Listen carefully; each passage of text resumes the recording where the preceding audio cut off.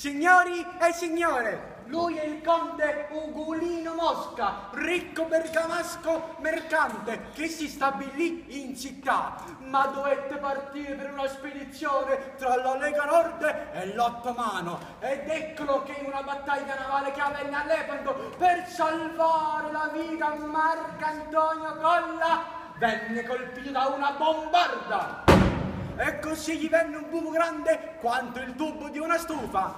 Ma lasciò in patria la figlia Eugenia Mosca, che subito venne perseguitata dai suoi persecutatori.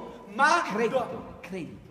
Pardon, messier, creditori, ma subito dovette vendere tutti i suoi beni a un certo Don Francesco Melaroni Bernazza, ricco mercante pesarese. E lui subito si innamorò della bella Eugenia. Morto! Vi voglio morto! Vi prego, vita.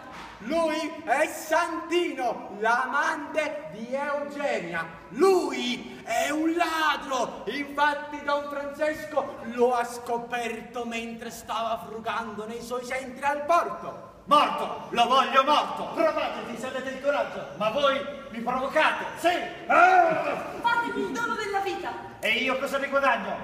Me. E fu così che Eugenia si tolse la sua virtù, ma Santino giurò di vendicarla e di liberarla. Pulcinella? Ammani, lei è Corallina, la servetta di Eugenia, ma è anche la mia innamorata, vero Corallina? Oh, per essere innamorata sono innamorata. Di me? Anche? Come anche? E dipende. Ma cosa? È da quello che farete per avermi. La mia padrona mi chiama. Corallina! Devo assentarmi per un paio d'ore. Devo andare giù al porto a preparare una spedizione per gli Emirati Arabi.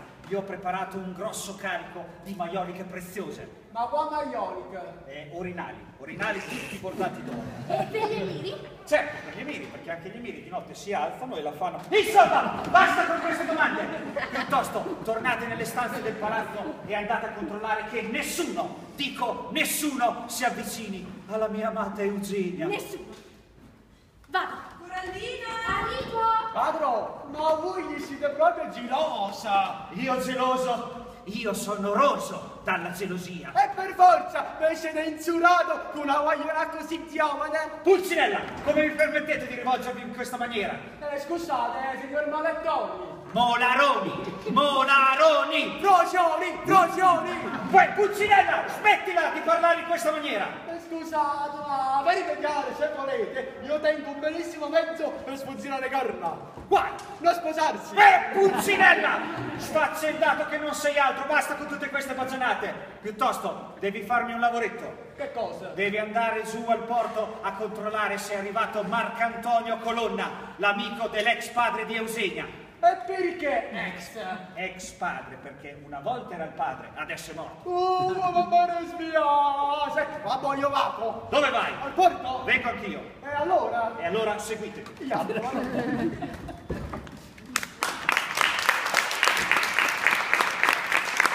vita! Ho deciso di togliermi la vita! Ho deciso di togliermi la vita qui, fronte al Palazzo Mosca, perché il suo attuale padrone mi ha rubato la mano della mia, della mia innamorata. E allora ho deciso di attirare qua la sua attenzione con lo spettacolo più grosso che posso fargli, il mio suicidio. Ah! E arriva Marcantonio!